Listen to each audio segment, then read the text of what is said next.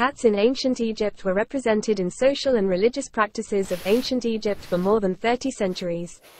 Several ancient Egyptian deities were depicted and sculptured with cat-like heads such as Mafdet, Bastet and Sekhmet, representing justice, fertility and power.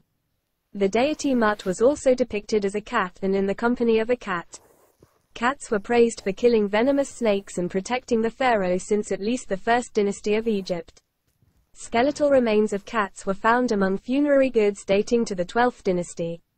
The protective function of cats is indicated in the Book of the Dead, where a cat represents Ra and the benefits of the sun for life on earth. Cat-shaped decorations used during the New Kingdom of Egypt indicate that the cat cult became more popular in daily life. Cats were depicted in association with the name of Bastet. Cat cemeteries at the archaeological sites Speos Artemidos, Bubastis and Saqqara were used for several centuries. They contained vast numbers of cat mummies and cat statues that are exhibited in museum collections worldwide.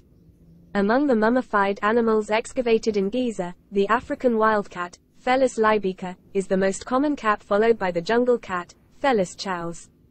In view of the huge number of cat mummies found in Egypt, the cat cult was certainly important for the country's economy, as it required breeding of cats and a trading network for the supply of food, oils and resins for embalming them. Cats and religion began to be disassociated after Egypt became a Roman province in 30 BC. A series of decrees and edicts issued by Roman emperors in the 4th and 5th centuries AD gradually curtailed the practice of paganism and pagan rituals in Egypt. Pagan temples were impounded and sacrifices prohibited by 380 AD. Three edicts issued between 391 and 392 prohibited pagan rituals and burial ceremonies at all cult sites. Death penalty for offenders was introduced in 395, and the destruction of pagan temples decreed in 399. By 415, the Christian Church received all property that was formerly dedicated to paganism. Pagans were exiled by 423, and crosses replaced pagan symbols following a decree from 435. Egypt has since experienced a decline in the veneration once held for cats.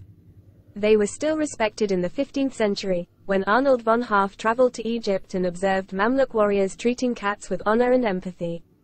Gentle treatment of cats is part of Islamic tradition.